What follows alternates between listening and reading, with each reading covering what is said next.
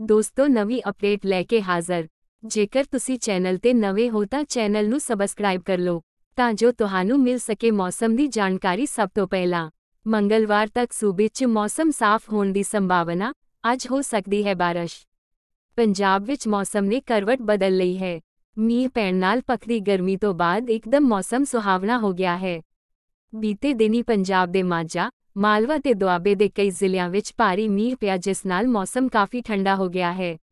ਪੰਜਾਬ ਵਿੱਚ ਐਤਵਾਰ ਨੂੰ ਵੀ ਬੱਦਲ ਛਾਏ ਰਹੇ। ਇਸ ਦਰਮਿਆਨ ਸੱਤ ਜ਼ਿਲ੍ਹਿਆਂ ਫਾਜ਼ਿਲਕਾ, ਸ੍ਰੀ ਮੁਕਤਸਰ ਸਾਹਿਬ, ਬਠਿੰਡਾ, ਫਰੀਦਕੋਟ, ਤਰਨਤਾਰਨ, ਮੋਗਾ ਅਤੇ ਫਿਰੋਜ਼ਪੁਰ ਵਿੱਚ ਮੌਸਮ ਵਿਭਾਗ ਨੇ ਮੀਂਹ ਦਾ ਅਲਰਟ ਜਾਰੀ ਕੀਤਾ ਹੈ। ਉੱਥੇ ਹੀ ਮੌਸਮ ਵਿਭਾਗ ਨੇ ਅੱਜ ਪੱਛਮੀ ਅਤੇ ਪੂਰਬੀ ਮਾਲਵਾ ਵਿੱਚ ਵੀ ਯੈਲੋ ਅਲਰਟ ਜਾਰੀ ਕੀਤਾ ਹੈ। ਮੌਸਮ ਵਿਭਾਗ ਵੱਲੋਂ ਜਾਰੀ ਅੰਕੜਿਆਂ ਅਨੁਸਾਰ ਮਾਲਵਾ ਵਿੱਚ ਜ਼ਿਆਦਾ ਮੀਂਹ ਦੇ ਆਸਾਰ ਹਨ। ਜਦਕਿ ਪੰਜਾਬ ਦੇ ਹੋਰ ਹਿੱਸਿਆਂ ਵਿੱਚ ਬੱਦਲ ਛਾਏ ਹੋਣ ਕਾਰਨ ਬੀਤੇ ਦਿਨ ਦੇ ਮੁਕਾਬਲੇ ਅਜੇ ਮੌਸਮ ਵਿੱਚ ਵਧੇਰੇ ਬਦਲਾਅ ਦੇਖਣ ਨੂੰ ਨਹੀਂ ਮਿਲਿਆ। ਬੀਤੇ ਦਿਨ ਵਾਂਗ ਹੀ ਪੰਜਾਬ ਵਿੱਚ ਅੱਜ ਵੀ ਮੌਸਮ ਸੁਹਾਵਣਾ ਬਣਿਆ ਰਿਹਾ।